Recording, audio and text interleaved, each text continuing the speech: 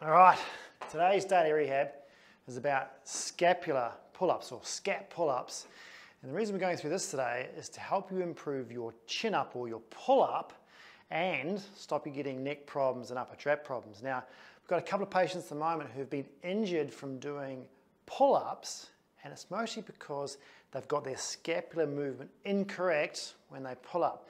So what I mean is, instead of doing a pull-up like this, where the correct position where you're pulling your shoulder blade down and then you're pulling your body up.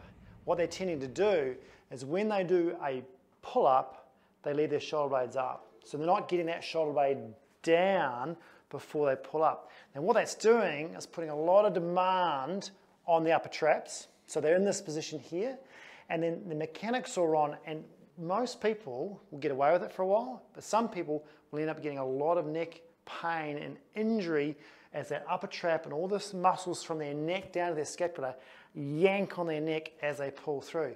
So the way to fix that and improve your chin up is get the scapular down position correct. The best way to do that is use scapular pull-up. So what you want to aim for is not doing a full chin up. So you go to your pull-up bar into here and just aim to elevate your body and pull your scapula down and then let them go again. So you're not even bending your arms really. You're just going scapular depression, pulling your body up and then coming down. So you're trying to get strong in that first start position and there. And what that's going to try and do is give you the idea of you've got to pull your shoulder blades down first, set that then you pull through, which, hey, is a lot harder to do a pull-up like that than just go straight into the movement, which a lot of people do. But if you want to be more effective in your chin-up and stop getting injuries and stop getting pain up in here, if that's you, then definitely work on the scapular pull-up routine. Now, if you find it's too hard or you haven't got that mechanism right, or maybe your brain is saying, I don't know how to do that, You've got the muscle, but you need to learn the form. Then what you can do is you go from, instead of doing a scapular pull-up like this where you're fully loaded, and that's sort of like a closed chain movement, you can go to an open chain movement, but unload it and just do either one arm or two arms. So what you could do, if you wanted some load, is put on a band like this, if you can get it over the bar, like a power band, and just work on the same movement but on one arm.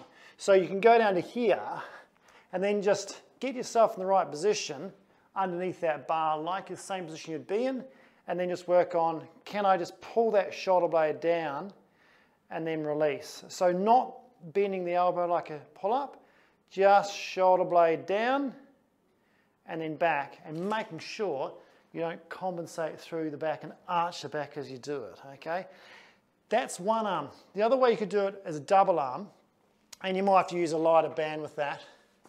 And this you could do like a pull down, like a lat pull down. So, and even if you've got a lat pull down machine in the gym, do it that way.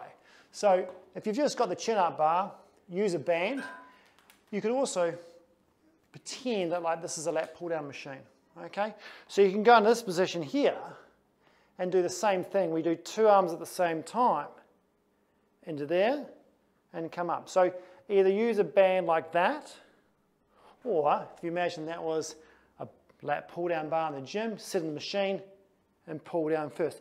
To get you that idea of scapular depression, then you go through the full chin up.